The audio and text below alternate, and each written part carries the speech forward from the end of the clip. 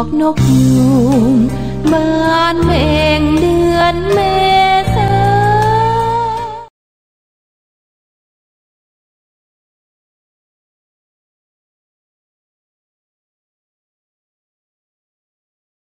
รบกวนท่านปออธิบายถึงที่มาที่ไปของโครงการ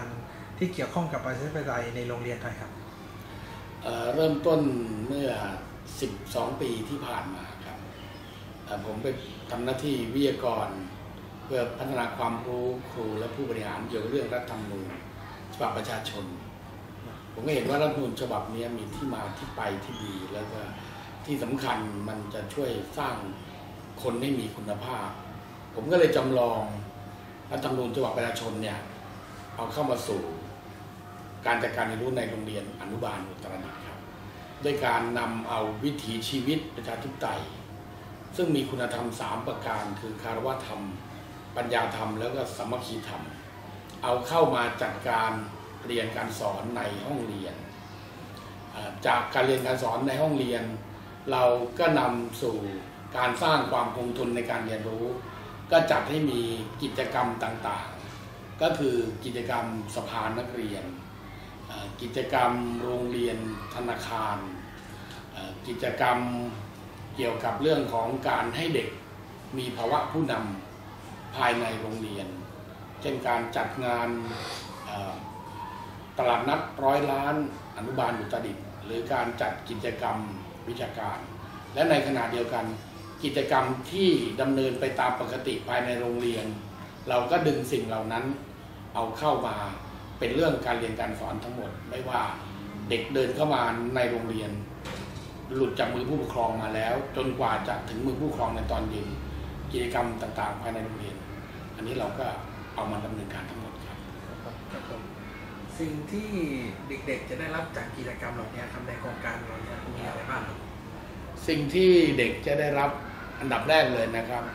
การจัดการในรู้ของเราเราต้องการสร้างนิสัย นิสัยที่เราต้องการสร้างให้กับนักเรียนก็คือ การ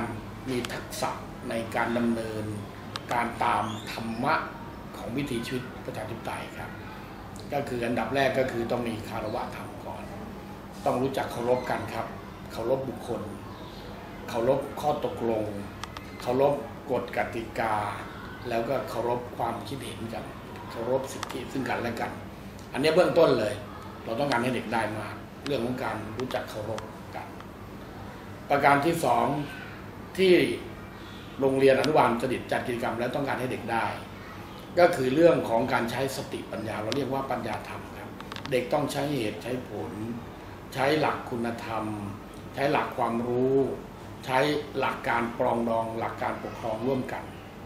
เป็นหลักของปัญญาธรรมครับ ที่เราต้องการและประการสุดท้ายครับ หลักของความร่วมมือกันครับ ก็คือสามัคคีธรรมต้องร่วมมือร่วมแรงร่วมใจกัน ร่วมกันทุกอย่าง ประสานงานกันทุกอย่าง อันนี้เป็นนิสัยของเด็กที่เราต้องการให้เกิดมากที่สุด มันแลดูเหมือนเป็นปรัชญา แต่เราเอาปรัชญาพวกนี้มาสู่การปฏิบัติจริง ๆ ให้เห็นเป็นรูปธรรมสิบกว่าปีที่ผ่านมาในโรงเรียนอนุบาลสดิตที่เราดำเนินการ ก็ถือว่าเป็นที่พึงพอใจของทั้งครูบาอาจารย์เอง โดยเฉพาะยิ่งคนที่รับผิดชอบมากก็คือคุณครูมงคลศรีรอซึ่งเป็นผู้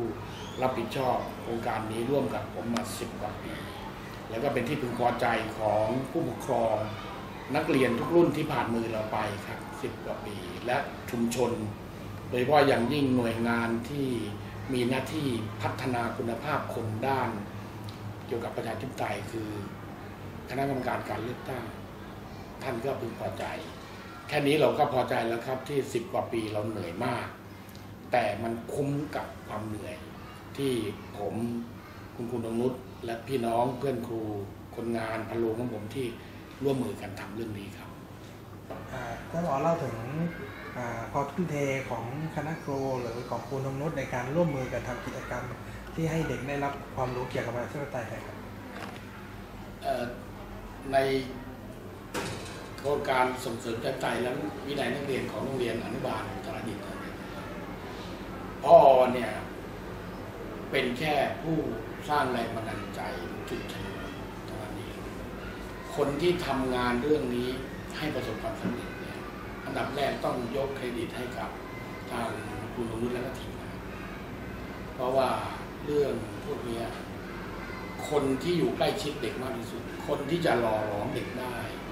ก็คือคุณครูเท่านั้นครับ ICT ไม่มีวันที่จะหล่อหลอมเด็กพวกนี้ได้ ต้องใช้กิจกรรม ซึ่งจะมีผู้กำกับบทนำทีมโดยครูนงนุชและครูในสาระสังคม หัวหน้าสายชั้นท่ารองผู้อำนการ แม้กระทั่งคนงานพันโรงเราทุกคนต้องร่วมมือกัน เพราะสิ่งเหล่านี้เหมือนเล่นดนตรีทั้งวง แค่เสียงจริงเสียงเดียวก็สำคัญครับ และที่สำคัญมากกว่านั้นก็คือการทุ่มเทอุทิศเวลา เวลาสิบกว่าปีที่เราสร้างเด็กมาเนี่ยไม่ใช่เวลาน้อยๆสิบกว่าปีเนี่ย ที่ยอมทุ่มเทเวลาไม่มีวันเสาร์อาทิตย์กัน ไม่รู้จักว่าวันไหนเป็นวันไหน วันหยุดเราก็ทำงานวันปกติก็ทำงาน งานปกติก็ทำงานสร้างคนเราก็ต้องทำควบคู่กันไปด้วย สิ่งเหล่านี้ต้องยกเครดิตให้กับทีมงานของคณะครูโรงเรียน อนุบาลตราดิตครับที่ทุ่มเทอุทิศเวลาทั้งสมอง ทั้งกำลังแรงกายแล้วก็ยังมีออกกำลังทรัพย์เองโดยที่พอไม่ทราบด้วย ซึ่งทางโรงเรียนอนุบาลตราดิตต้องขอขอบคุณคณะครูของเราเป็นอย่างยิ่งที่ช่วยกันครับ ในอ่าความภูมิใจในตัวของทีมงานของพอเนี่ยอาจารย์รู้สึกยังไงบ้างครับเอ่อความความภาคภูมิใจในทีมงานเนี่ยนะครับ เราได้รับการคัดเลือก ได้รับรางวัลอย่างต่อเนื่องเกี่ยวกับเรื่องของการส่งเสริมใจใจและวินัยนักเรียนเนี่ยทีมงานของเราเป็นผู้ อยู่เบื้องหลัง ผมเองก็ให้ขวัญกำลังใจกับทีมงานของพวกผมเนี่ยด้วยการให้กำลังใจจากการชมเชย จากการที่พาไปรับรางวัลและที่สำคัญครับ ความภาคภูมิใจของเราอยู่ที่นิสัยของเด็ก บุคลิกของเด็ก แล้วก็ภาวะผู้นำของนักเรียนที่เราสร้าง สิ่งเหล่านั้นคือสิ่งที่เราภาคภูมิใจร่วมกัน แล้วมันก็เป็น ยาหอมเจือกำลังใจให้พวกเราได้มีแรงมีกำลังที่จะทำต่อไปร่วมกันครับจากการปลูกฝังอ่าความรู้ด้านประชาธิปไตยให้นักเรียนให้เด็กๆนะครับอาพอคิดว่าเขาจะนำไปใช้ในชีวิตประจำวันได้ยังไงบ้างครับอ๋อเรื่องที่เราปลูกฝังไว้เนี่ยนะคใช่รับครับ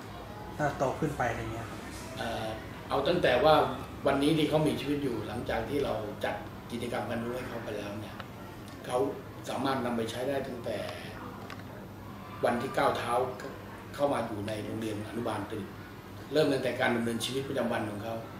ลืมตาอยู่ในโรงเรียนเนี่ยมากกว่าลืมตาอยู่ที่บ้าน เพราะฉะนั้นเขาได้ใช้วิถีชีวิตประชาธิปไตยของเขาสร้างนิสัยของเขาสร้างคุณธรรมจริยธรรมเนี่ยอยู่ในโรงเรียนเป็นประจำอยู่แล้ว แต่ว่าเมื่อโตขึ้นไปเมื่อเขาไปเรียนสูงขึ้นในระดับมัธยมศึกษา ระดับอุดมศึกษา หรือว่าออกไปทำงานหลังจากที่จบการศึกษาไปแล้ว ผมคิดว่าวิถีชีวิตจากใจที่เราสร้างและหล่อหลอมไปเนี่ยจะช่วยเขาเป็นคนมีคุณภาพ วันนี้สิ่งที่เราต้องการมากที่สุดก็คือคุณภาพของคนของเรา ว่าทำยังไงจะให้คุณภาพของเราไปสู่ระดับมาตรฐานที่เป็นสากลได้ นิสัยมาตรฐานสากลก็คือนิสัยประชาธิปไตยก็คือต้องต้องรู้จักใช้ปัญญาต้องใช้เหตุใช้ผล ต้องรู้จักที่จะร่วมมือร่วมแรงร่วมใจให้อภัยกัน แล้วก็นิสัยสำคัญก็คือคนเราอยู่ร่วมกันได้ต้องเคารพกันครับ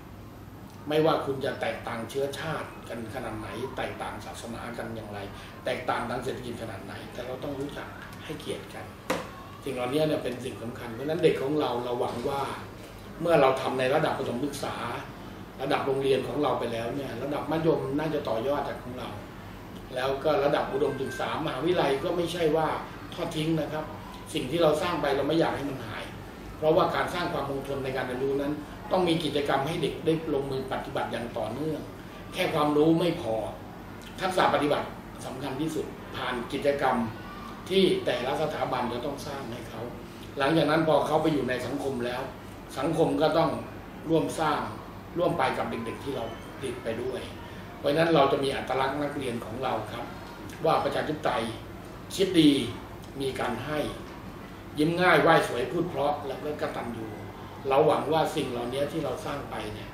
อยากให้สังคมได้ช่วยกันหล่อหลอมเด็กของเราเพื่อให้เขามีคุณภาพอย่างแท้จริง ถ้าไม่อย่างนั้นแล้วเราจะได้คนที่เราพยายามสร้างให้มีคุณภาพ แต่พอไปถึงโตขึ้นแล้ว เราไม่สามารถสร้างความคงทนในการเรียนรู้ได้ สุดท้ายอ่า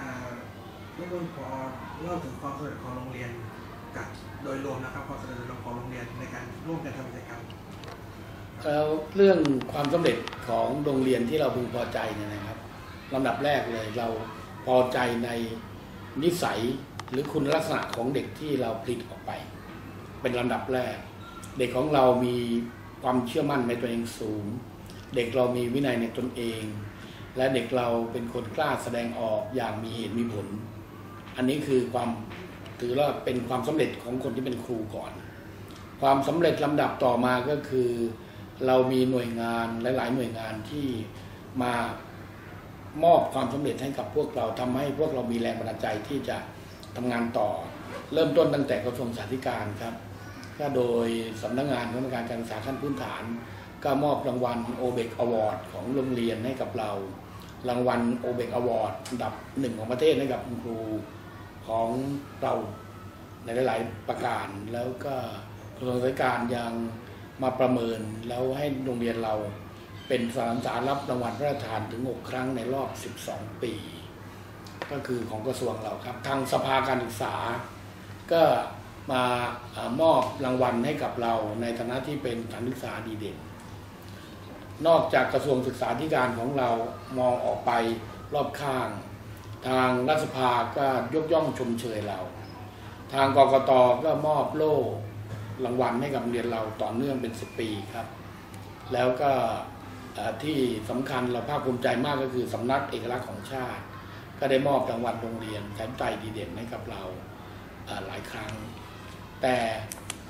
สิ่งที่สำคัญที่สุด ที่เราภาคภูมิใจมากก็คือเราได้รับการยอมรับจากผู้ปกครองและบุคคลอื่น ๆ ที่เป็นสาธารณชนครับมาเยี่ยมมาดูงานของเราแล้วก็เอารูปแบบที่เราทำเนี่ยเอาไปประยุกต์ใช้ในโรงเรียนในหน่วยงานของเขา อันนี้ถือว่าเป็นความสำเร็จที่เราภาคภูมิใจมาก